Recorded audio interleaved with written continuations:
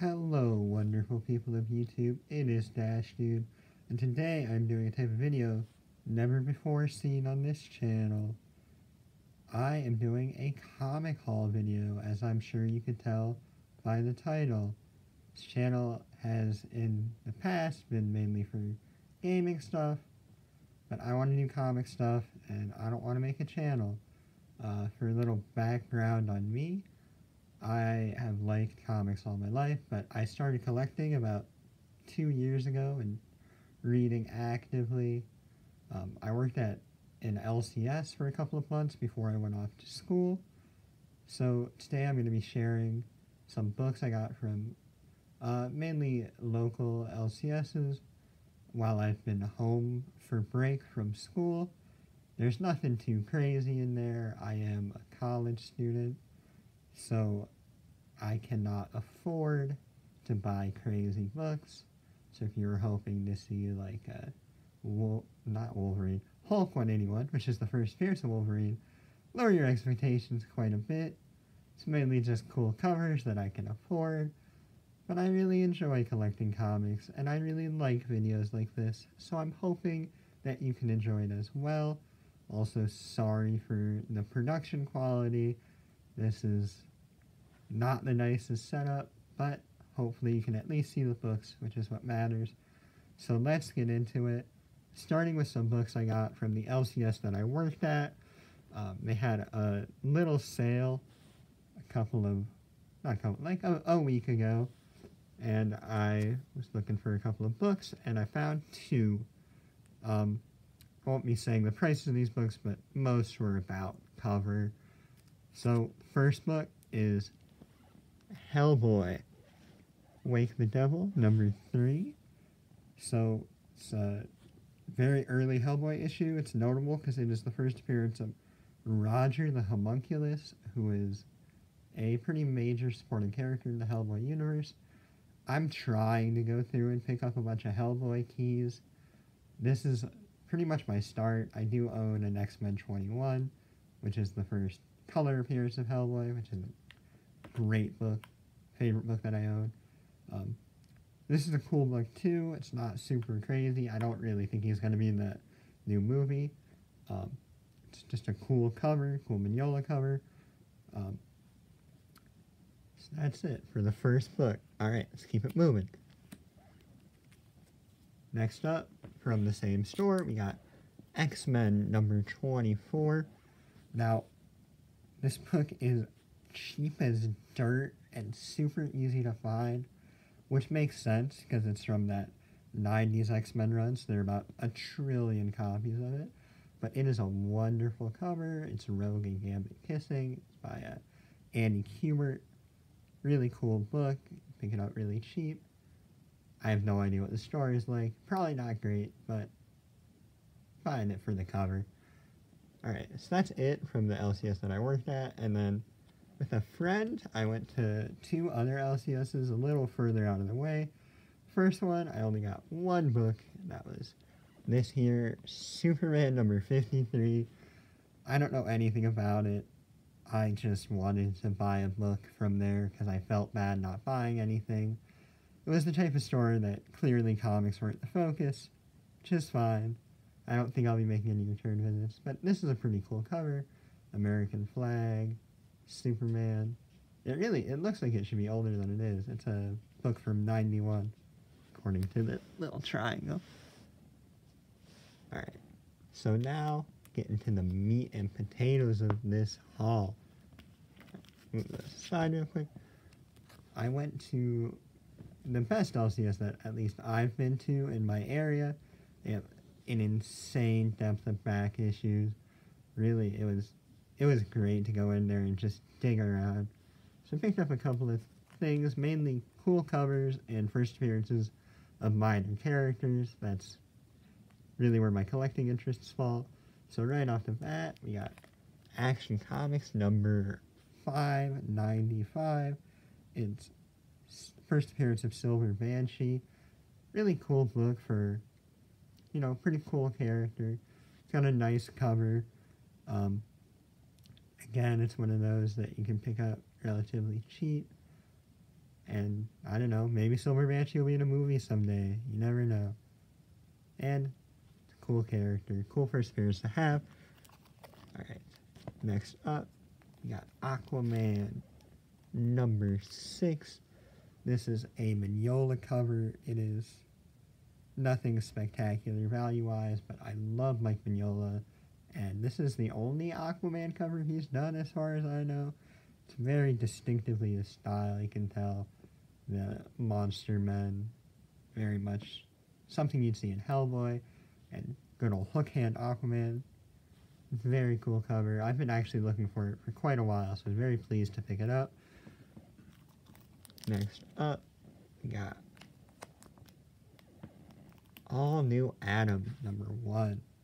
Um, this is the first appearance of Ryan Choi, who was Ray Palmer's replacement for a little bit. He might still be the Atom in DC continuity, not super up to date on what's going on there. Um, again, another cool book. It's a series I've been meaning to read. I actually haven't read this individual issue yet. Um, a cool book and one that I had been looking for.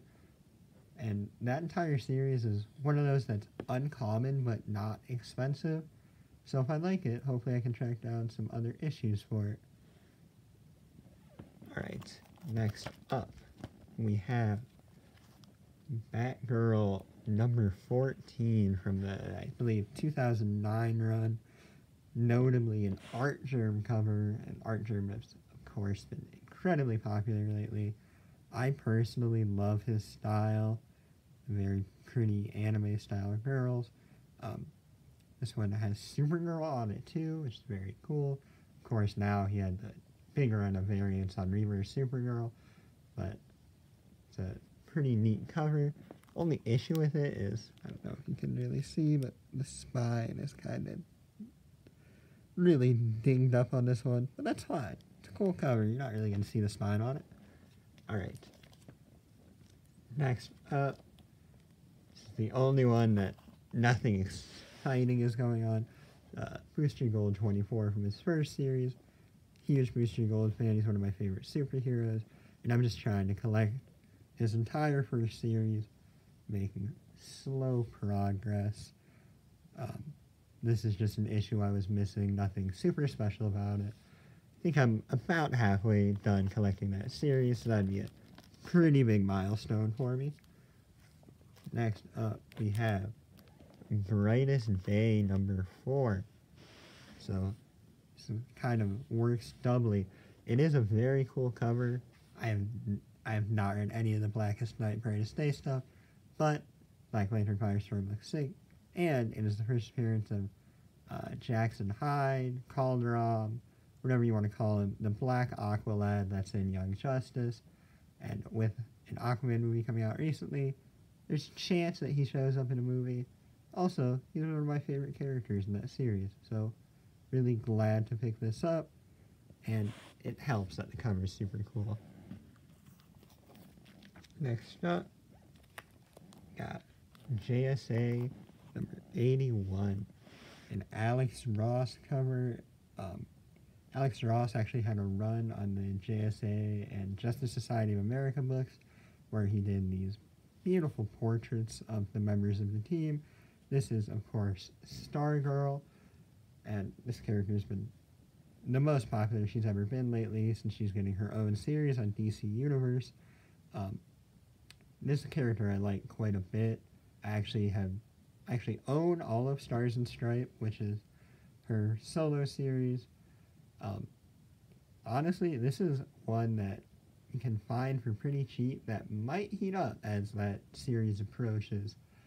Just a really cool cover, and Alex Ross doesn't really do covers of weird characters that often. So, if you like any of the characters in that JSA run, uh, by mainly Geoff Johns, I would hunt these down while they are easy to find. Next up, a book I only really know about because of Alex the Comic Hoarder. This is Justice League of America number 12. It's the second print. Um, I should maybe flip it that way. It's an Alex Ross portrait. Uh, not, well, it's not a portrait. It is landscape style. Um, they changed the cover for the second print. It's a really cool book. There aren't a ton of them out there. Um, and again, just Alex Ross, beautiful art. Got a bunch of cool characters in there. Definitely one to pick up if you can find it. Alright, next up. Wonder Woman number 113. This is the first full appearance of, I can't even think of her name, Wonder Girl, the one that was in the Young Justice comic. Um, a character I enjoy, at least in the Young Justice comic from, I think, 99 or 2000. Unfortunately, not the best cover, but that's okay. Just a cool little first appearance of a character that pretty much lost to the sands of time at this point. Alright, so saved the best for last with these books. So this last one is the last book that I picked up, picked up from that LCS. It is Detective Comics number 647. So it is the first appearance of Spoiler, Stephanie Brown. Um, I don't, I think this might technically be her first full appearance. I think she appears in something before this. But it's the first full appearance of a character that has just kind of been kicking around the Batverse since her creation. And it definitely helps that you have a Matt Wagner cover. Very interesting. Not necessarily interesting, very cool. Um, this was the key that I picked up from there.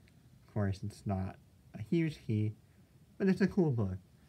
And then, last up, alright, you know, I'll leave that for you guys to look at for a second.